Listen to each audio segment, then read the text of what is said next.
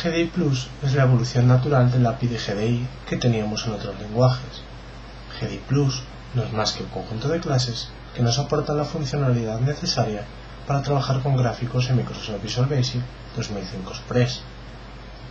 Además, todas las clases de GDI Plus las podemos encontrar dentro del espacio de nombres System Drawing.